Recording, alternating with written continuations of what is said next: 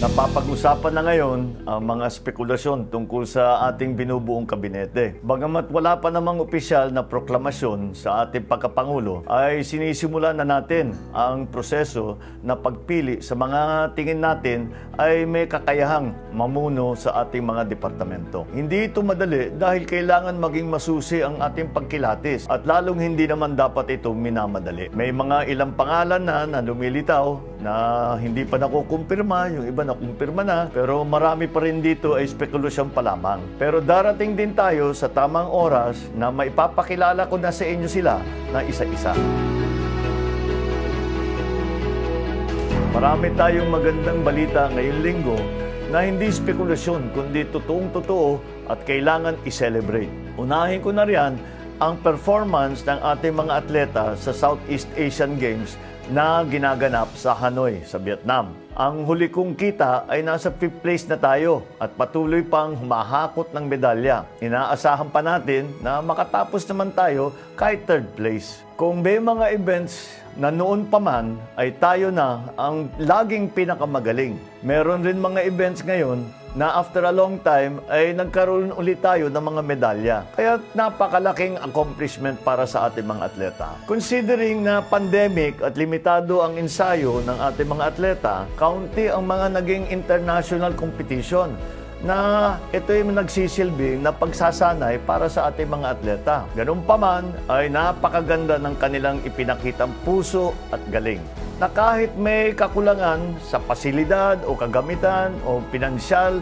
na suporta, ay nanaig pa rin ang pagsasakripisyo at dedikasyon ng ating mga atleta. Patunay lang ito sa mga posible pa nating marating kapag suportado ng pamahalaan ang ating mga atleta. Nabanggit ng PSC ang kahalagahan ng grassroots program and that is precisely what we should be continuing to do. Mula sa pagkabata pa lang, mula sa probinsya pa lang, mula sa eskwelahan pa lang, hinahanap na natin ang mga magagaling at binibigyan ng suporta ang ating mga atleta. Ipagpatuloy natin yan.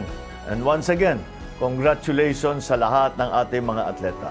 Mabuhay kayo. Naiproklama na ng Commission on Elections ang labing dalawang senador na nanalo. Itong nakaraang araw naman ay naproklama ng COMELEC ang ating mga bagong halal na senador. Marami tayong mga kasama sa unit team na pinalad na makapasok gaya ni Senator Jinggoy, Senator Migs, Senator Win, Senator Mark Villar, Senator Loren, at syempre si Senator Robin Padilla na nag-number one. Kabilang din dyan sina Senator JB, Senator Cheese, Senator Rafi Tulfo, Senator Joel, Senator Alan Peter, Senator Risa. Pero gayang ng lagi naming sinasabi ni Vice President Inday Sara, wala nang kulay politika mula sa puntong ito at nakakasiguro kami na ang layunin naman ng lahat ng nahalal na senador ay para sa ikagaganda at ikabubuti ng ating bansa. Kaya't congratulations sa inyong lahat. I love it, Mr. P and Son. Kakabalik ko lang din mula sa Australia. Kasama ko ang aking pamilya at kahit tahimik lang, eh, ang pagpunta ko doon ay mabilis talaga ang balita. Kaya't mainit tayong sinalubong ng ating mga kababayan doon. Ako'y nagpapasalamat sa kanila. Talagang binigyan kami ng dahilan ng umiti at makapag-celebrate kasama ng ating mga Pilipino na doon sa Melbourne at sa Australia, meron pang dumating na galing sa New Zealand. Maraming salamat sa inyo lahat. Umasa po kayo na ang kapakanan ng OFW at ng mga pamilya nila dito ay magiging prioridad sa ating mga pinaplanong programa.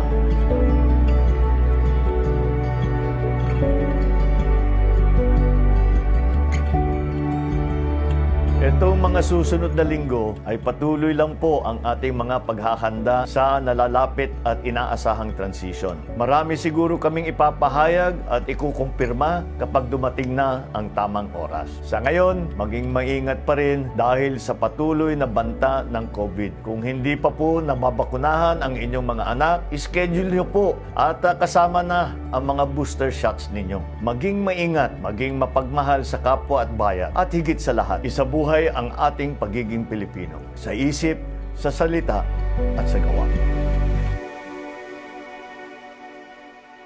Hi guys, once again, thanks for watching our dad's vlogs If you want to see more, remember to share, like, and subscribe.